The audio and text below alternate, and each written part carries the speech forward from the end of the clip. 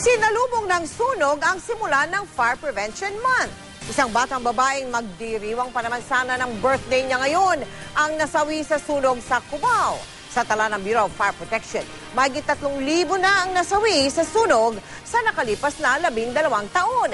Mahigit 100,000 sunog naman ang naitala.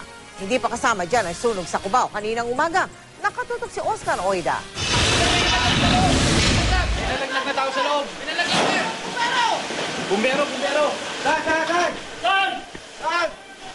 Kasagsagan ng kanilang pakikipagsagupaan sa apoy nang malaglag mula sa bubungan ng Sampaloc Fire Volunteer na si Angel Ahala.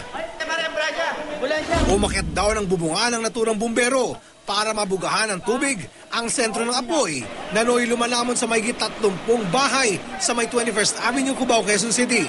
Nang aksidente siyang mapatapak sa isang plastic na yero.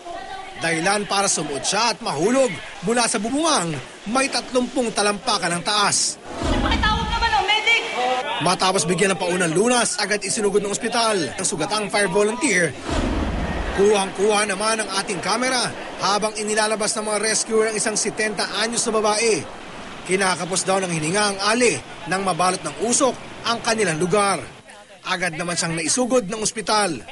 Pero di pa dito nagtapos ang lahat.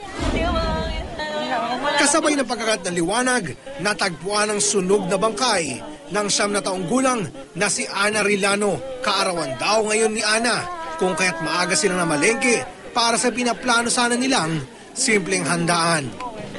Tapos sabi niya, ma, hindi na lang po ako papasok. Kasi po, po ako sa inyo.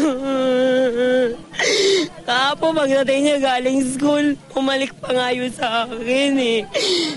Daan-daan siya kasi ayaw niya ako magising dahil panggabi po ako sa laundry.